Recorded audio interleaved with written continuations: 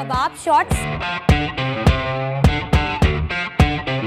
Onions अदरक और लहसुन.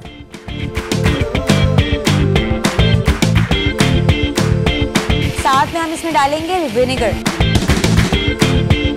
अब इसमें हम डालेंगे घी.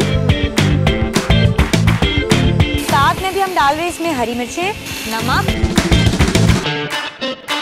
ड्राई मिल्क पाउडर गरम मसाला पाउडर, लाल मिर्च पाउडर,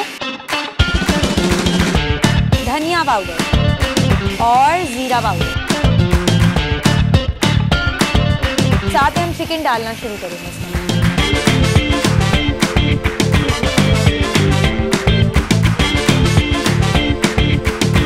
हमारा मिक्सचर तैयार है।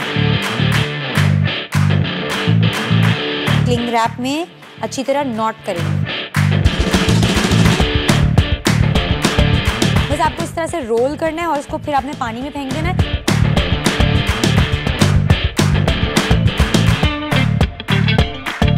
तकरीबन 10 मिनट से लेके 15 मिनट तक ये इस पानी में रहेंगे।